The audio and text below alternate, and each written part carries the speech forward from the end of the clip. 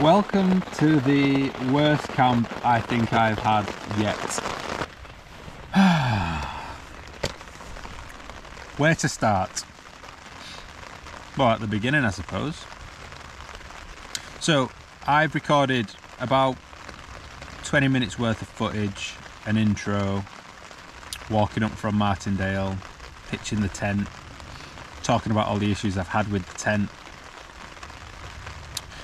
getting in the tent, piss wet through, getting set up inside a one-man tent while it was pissing down outside, my inner not being attached to the fly of the tent, and just as I got set up and was settling in for the night, I have deleted all that footage off the GoPro. So here we are.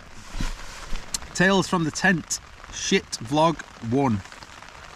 Unbelievable.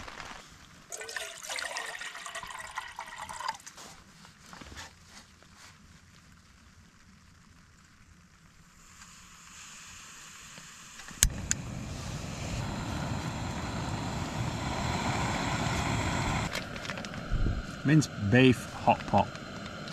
If that don't make me feel better, I don't know what will. Got the new Jetboil on, the old Minimo, new edition. So, see how that goes. But yeah, what a nightmare. What a nightmare. It's just piss poor preparation. So the issues, I take that off. The issues I had with my tent was I took the inner off last night and um, I took it off to air and I didn't attach it properly. So when I got to setting up today, when it was absolutely sideways raining and freezing cold, um, I had issues, um, which is my own fault. But I will say, as much as I love the Scarp 1, and it is the favourite tent I've ever owned, and it's great for nights like this because it's nice and roomy as a one-man tent, is it's not easy to set up, I don't think, in harsh conditions. People say it is, but I don't agree with them. The, the, the sleeve that you put the pole in is, um, it's just too fiddly. The pole gets stuck, then it, it like comes apart inside. It's just not easy to put up in, in harsh conditions, I don't think. So I think they could make some real good mods on this tent if they were to create another version of it. check out the boiling. Yeah, if they were to make another version of this of the scarp, I think rather than having a sleeve that goes right over the top, I think they could just put the sleeve towards the almost the ends of the pole, like a bit like they do on the Hilleberg Soulo, and then have clips all the way around it to make it much easier to put up in the in the rain. Um, but yeah, I had a bit of a nightmare. So I'm all set up now. I'm gonna have some tea, and then it's gonna be a bit of a talky one, isn't it? I can't show you out, so as you can hear, it's absolutely smashing it down out there. Oh, we're boiling. Well, the Minimo is quick. I will give it that. Woo, we're getting steamy in here. Nice one, can't wait for condensation to get all over my tent and freeze tonight. Another good idea, right?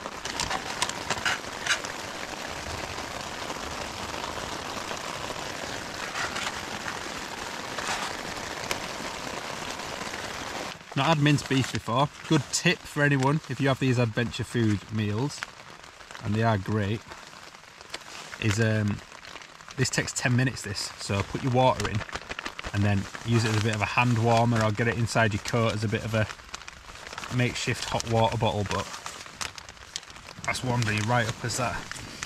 So I can't wait to get stuck into that. It's only gone six o'clock and I've honestly, I've note to do tonight I said, I've no battery on my phone. Well, I've got 10%, so I've turned that off in case I need it in an emergency. I didn't bring a book. Deleted all my GoPro footage, so I can't even watch that back. So I don't know what we're going to do. But I'm going to talk to you quite a bit tonight. But also, I am going to um, embrace having no phone tonight and use this time for some proper solitude because it's been a while since I've been out um, and it's been a while since I made a video I don't really have the mojo for making um, videos really. I went on a camp a few weeks back, started recording, and then I just thought, ah, I can't be asked. So I just had that. Well, that was at Tarn at Leaves. That was a nice little camp. Um, but then tonight I was right well up for making a video and filmed everything from Martindale and sat in the car because it was raining. And anyway, don't matter, does it? It's gone. It's in the past. Can't change the past. Got to learn, learn from it. thing is, I don't know. I'm going to learn because I don't. I don't know how I deleted the footage. But anyway, is what it is. So I've got a night. Way up. It's on the piss. So I've got a night in the tent on my own. A bit of self-reflection, no doubt, with a beer.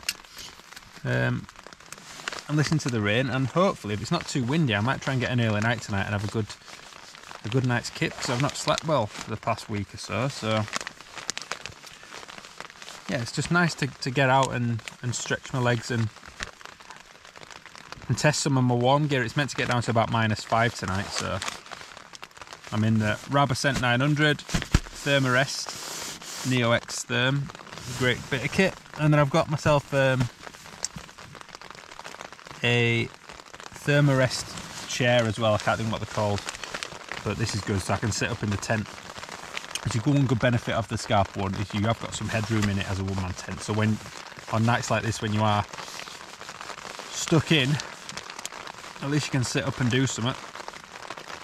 You can't watch your phone. You haven't got a battery, can you? But I don't know. I suppose I can read the back of this.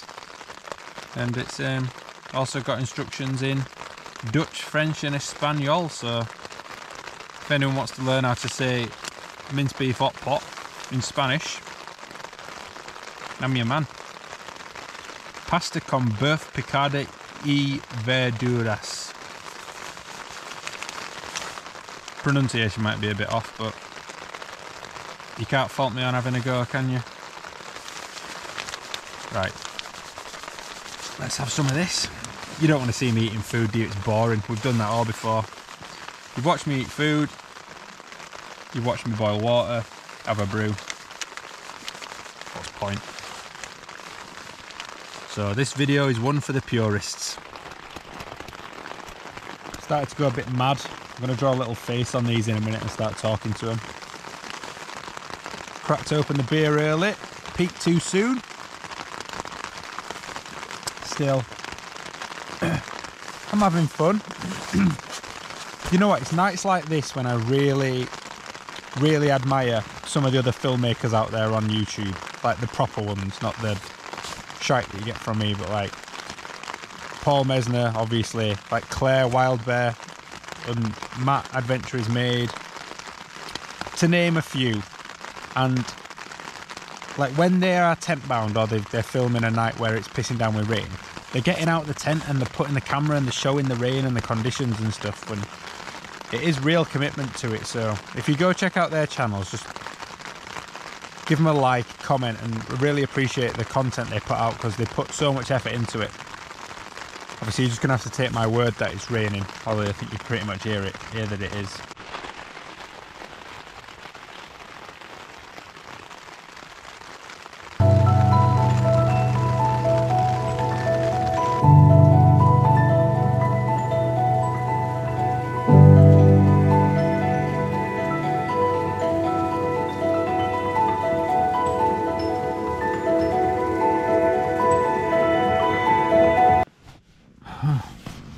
Actually turned out to be quite a nice night.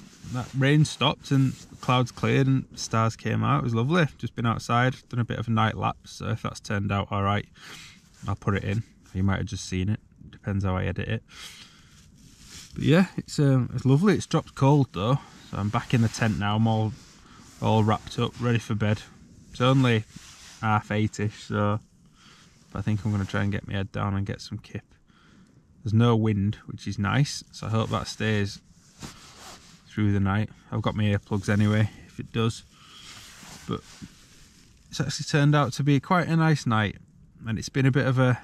It's been nice not having access to my phone. I've turned it on a couple of times just to check in and whatnot, but it's um it's been nice just to be up here with my own thoughts and just in my own company.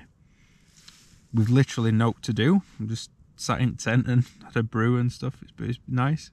Just been nice to get back out really and I don't know. When you're up here on your own and there is no to do it's quite nice to have the camera to have, to have a chat so it sounds a bit weird but anyway enough of me bleating on about literally nothing. So I'm gonna get some kip and unless anything exciting happens I'll um, see you in the morning. Fingers crossed for a nice sunrise